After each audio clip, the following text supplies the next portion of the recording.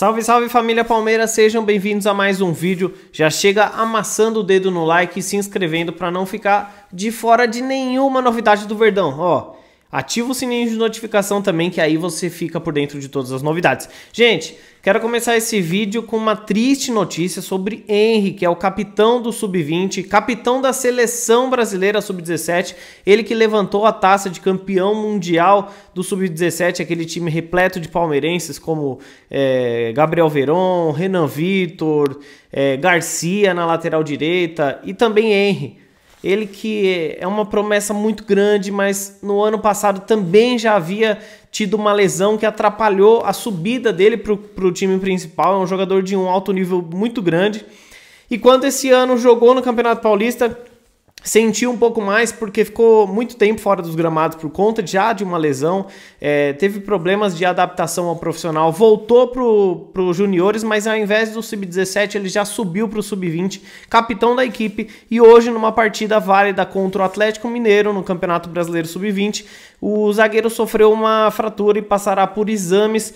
É, antes de iniciar o tratamento, parece que foi uma fratura meio grave pela imagem que a gente vê é, enfim, a gente deseja toda a sorte do mundo e uma ótima recuperação para o nosso xerife, que ele é muito importante, seja para a academia ali do, do, das crias da academia, quanto para o profissional futuramente, sem dúvidas. Força, Henry!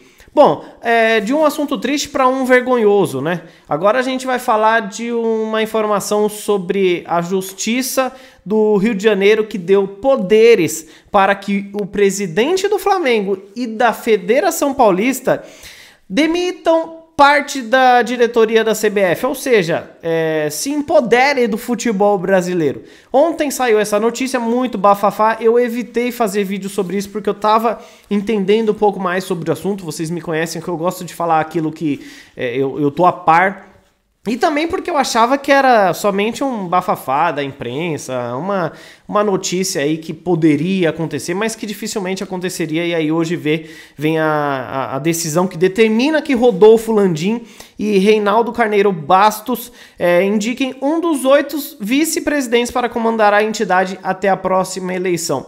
É, gente, eu, eu não sei o que falar. Vocês imaginam o, dois dos maiores rivais do Palmeiras hoje, que é o presidente do Flamengo, presidente da Federação Paulista, eles não gostam do Palmeiras, ninguém gosta do Palmeiras nesse sentido. E não só o Palmeiras, como diversos outros clubes seriam penalizados. Como que você coloca o presidente da, da Federação Paulista e o presidente do Flamengo para comandar a, a Confederação Brasileira de Futebol? Então, assim, cara, é notícia é, feita aí por diversos veículos de comunicação, como a Rede Globo, enfim. Eu tô, tô muito chateado com o rumo que, que vai tomando o futebol. Parece que eles querem é, o fim do futebol mesmo. A gente tenta, é, como falava Paulo Nobre, ganhar dentro de campo. Mas algumas coisas extra-campos deixam a gente bem chateado, bem desanimado. Isso é inadmissível, mas a gente vai ficar por dentro de toda essa situação ao longo do, do dia, ao longo da semana, mantendo vocês informados, tá bom? E para finalizar, é, tivemos o primeiro treino já com bola aí de Miguel Borja, de Jorge. Jorge, lembrando que ele está voltando de lesão, a lesão que era prevista para seis meses ele começar a trabalhar com bola, em quatro meses ele já está trabalhando, então a lesão está muito boa. O departamento médico do Palmeiras e de recuperação é muito forte, citado até por, por rivais. Esses dias até o Barolo comentou que o departamento médico do Palmeiras é muito bom, é, diferente do do São Paulo, inclusive, então a gente tem que valorizar que o Gabriel Verón volte agora mais forte do que nunca. Ele deu entrevista hoje até um pouco emocionado, vai ser pai, parabéns, Deus abençoe Gabriel Verón essa nova fase, que o mini raio aí venha com muita saúde e que você consiga recuperar o seu baita futebol. Mesma coisa para o Jorge, que ele recupere o seu futebol, visto que vem de uma lesão. Então finalizo esse vídeo com alguns lances aí do treinamento de hoje, seja na academia ou também no campo do centro de treinamento do Palmeiras. Tamo junto, família!